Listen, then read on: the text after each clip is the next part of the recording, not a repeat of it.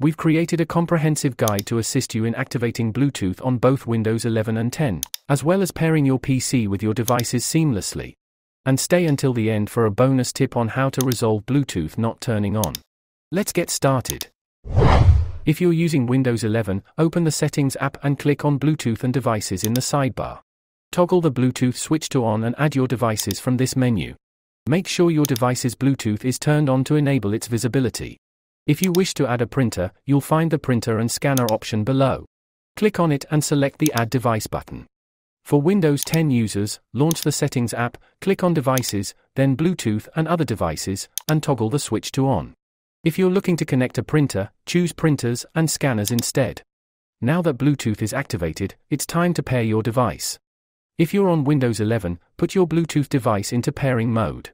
Click on the network tray in the bottom right corner and then on the arrow icon next to the Bluetooth symbol. Note that you can also directly click on the Bluetooth symbol to turn it on or off. Your available devices will be listed here. For Windows 10 users, ensure your device's Bluetooth is in pairing mode and then open Settings. Go to Devices, select Bluetooth and other devices, and click Add Device. Choose Bluetooth and your devices will be displayed here. As a token of appreciation for staying with us until the end, here's a bonus tip on troubleshooting your Bluetooth. Start by checking if your Bluetooth is correctly installed. In the search bar, type Device Manager. Look for Bluetooth, and if it appears, that means it's installed. You can expand it and search for driver updates by right clicking and selecting Update Driver. You should also verify that airplane mode is disabled by pressing the Windows key plus A on your keyboard. If none of these steps help, a simple restart of your laptop might resolve the issue.